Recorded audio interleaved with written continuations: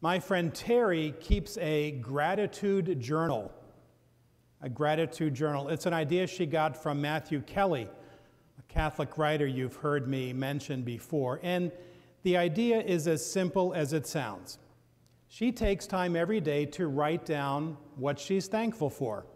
And it can be anything that comes to mind her family and friends, her job, her material blessings, or her faith. And even little things that can be easy to miss, like a, a beautiful sunny day or the kindness of a stranger. My friend said that most days she has no trouble filling a page with all that she's thankful for.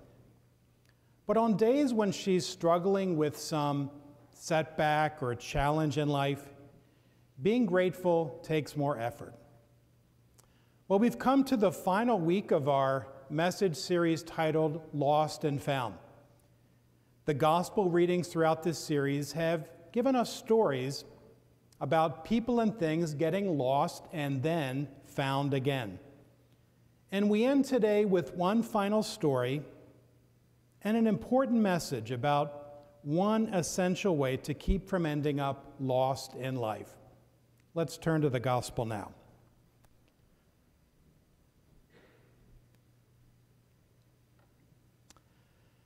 So, we heard that Jesus healed a group of 10 people with leprosy. What is leprosy? Well, until very recently, leprosy was a deadly disease that ended in a slow, agonizing, horrible death. So, if you got leprosy, it was a death sentence. In Jesus' day, they didn't know what caused it, there was no cure, and it was highly contagious. So people with leprosy were shunned.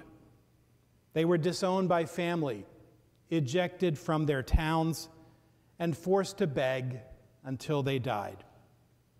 On top of that, the Jewish people believed that leprosy was a curse from God a punishment for sin. So Jewish law demanded that those with leprosy had to live apart from everyone else. They felt hatred from others.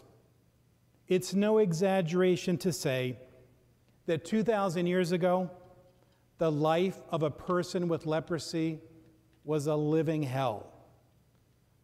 You need all this background to understand just how powerful Jesus' healing was for those 10 people.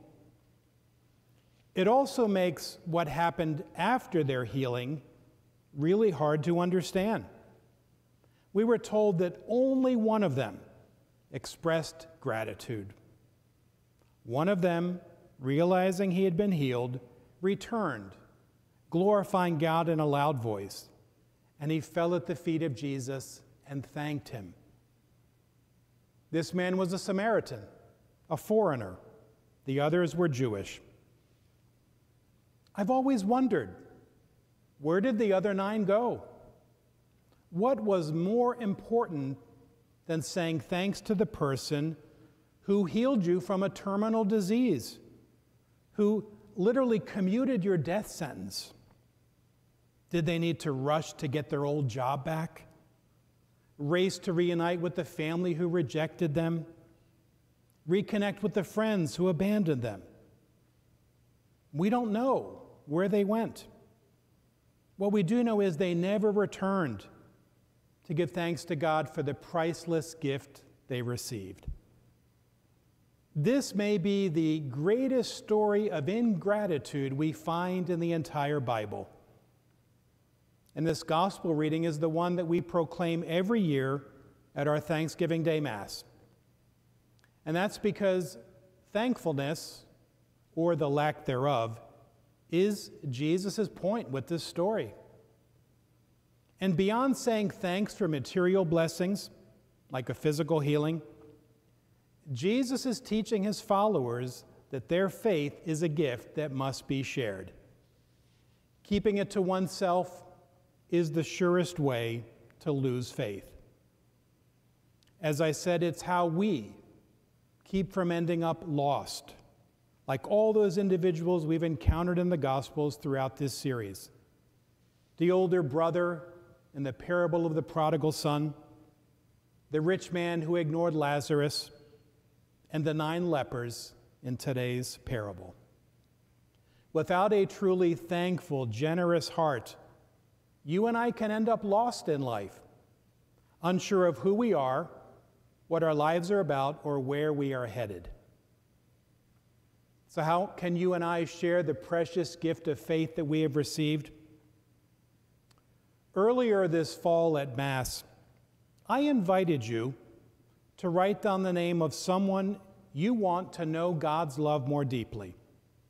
And all the names were posted in the entranceway on a prayer wall. Well, in front of the altar today are all those slips of paper, the names of our loved ones. We should continue to pray for them daily, asking God to lead them as He also leads us. To lead them and to lead us. Have you ever wondered about this huge white structure over top of the altar? It was installed in 1979 when the parish hall was built, and this space was converted from a multi purpose room to the sanctuary that you see today. At the time this structure was first installed, school children said it reminded them of a Pringle potato chip. It actually symbolizes the cloud that led the Israelites through the desert after escaping Egypt. The cloud was the presence of God, accompanying them and leading them to the promised land. Its presence over our sanctuary reminds us that Christ is present here in His Word, in the Eucharist, and present in each other. It's also a reminder that each of us, as members of Christ's Church, are being led by God as we journey through life. And I would add that it reminds us that we have an obligation to lead others to Christ and His church. And doing so is one powerful way to express our gratitude to God. Last week at Mass, I shared that I believe God is leading our parish forward through all of the renewal efforts of recent years. God is leading our church forward in love, calling us to be more welcoming to those who are wandering through life, searching and seeking. And I want to remind you of the quote I shared last week from Pope Francis. Love not only means that we wish others well or that we are good to others, but first and foremost, at the root, that we welcome others, make room for others, make space for others. This is Pledge Weekend for Led by Love Phase 2. I want you to see how God can use you to support our parish's future. Last week, I shared with you images from the architect of the new gathering space, which will be to the right of the church, that we are breaking ground for next summer. Today I will just share two of the images. The first image shows the exterior of the new space. As I said, this will be to the right of the church as you approach the front doors. The building in red brick is phase two. Currently, this area is green space with our Mary statue. And we will be shifting the Mary statue down a bit to a new prayer garden area beside this building. And as a reminder, this, these and other images are posted in the entranceway where the doorway into phase two will be. You can also view them on our website. And here's an image of the inside of the new space. This angle is if you came in from the church entranceway. As you can see, the design will give flexibility for a gathering of 50 or so in one area for a talk or presentation, or round tables and chairs that can accommodate 150. This will be a space for us, for us to gather with each other, learn from each other, and to be trained for ministry and service. It will also be an inviting and welcoming space that we can bring others into including all the Bowie Bobs and Bowie Barbs in our lives. And we all have them. I do, and so do you. The estimated cost for phase two is 1.8 million. And thanks to all of our original Led by Love donors, and in partnership with our school, we have most of what we need. The goal for Led by Love Phase 2 is to gather pledges of at least $400,000. And the reason I say at least 400,000 is because there are some elements in the design that we definitely want to include but may depend upon contributions. For example, an outdoor patio at the entrance to phase 2 and additional restrooms. Last week as you left mass, you received a brochure and pledge form for Led by Love Phase 2. They were also included in our e bulletin and are on our website. I ask you to read them over, and pray about your commitment. And for those of you who fulfilled your pledge to Led by Love, that initial pledge from five years ago, or are about to fulfill it at the end of this year, I'm not asking you to give again.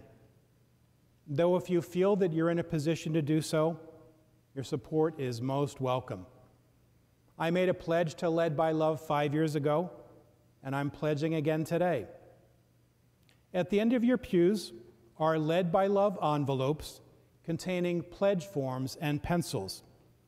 If those on the ends of the pews would pass them down to anyone who needs one, I'd appreciate it. You can do that now.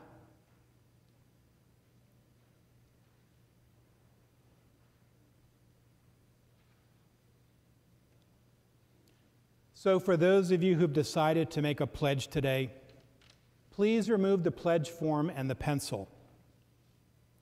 On the front of the pledge form, with the images of phase two, I'd ask you to fill in your contact information. Then just turn the form over and fill in your pledge information. For phase two, you can extend your pledge over two years with monthly or annual payments of any size you choose. You can use Faith Direct or credit card or check. Payments will begin next month.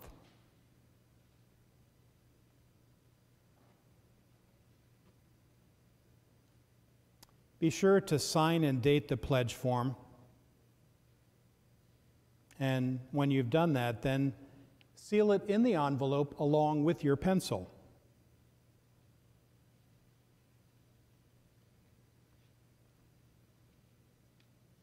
If you need more time to fill out your pledge, consider it. Don't feel rushed. You can bring it to church or mail it in whenever you're ready.